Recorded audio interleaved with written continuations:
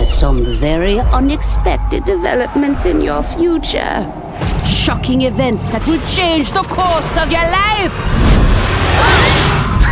that last part might have been a hair dramatic. But there's lots of awesome updates and additions coming to the Crash Bandicoot 4 It's About Time experience on PlayStation 5.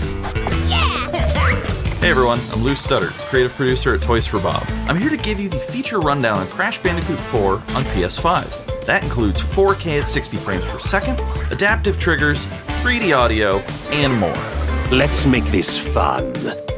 Picking up where Crash Bandicoot Warped left off, in Crash Bandicoot 4 It's About Time, we find the evil masterminds Neo Cortex and Dr. N. Tropy escaping a once thought inescapable interdimensional prison, leaving giant holes in the universe. What follows is a mind-bending adventure for Crash and his marsupial pals. We designed Crash Bandicoot 4 to leap off your screen, brimming with bold, vibrant environments and characters.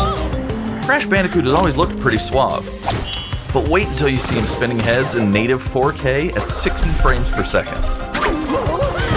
With the weight of the universe on your shoulders, and probably some errands to run, there's little time to wait on loading screens. The DualSense wireless controllers bring adaptive triggers to your fingertips, so you can feel the blast of Neo Cortex's DNA changing ray gun, or feel the grip when you grapple a Tawna's hookshot. Hold on tight when you feel the boost of Crash's jetboard, and really feel the suck when you vacuum his Dingodile. Looking to get fully immersed in the Crash Bandicoot universe? Crank it up to 11 and take your audio into an all new dimension with enhanced 3D audio.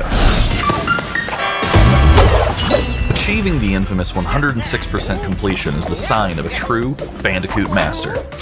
But should our genetically mutated marsupial lose his way, leverage PlayStation 5 activity cards to track your progress and hit your goals for things like time trials, flashback levels, and boss fights.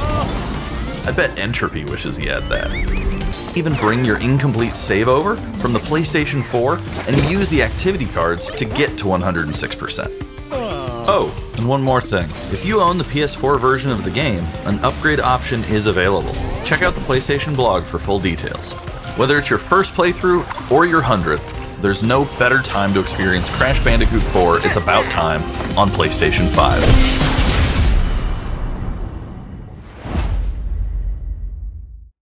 PlayStation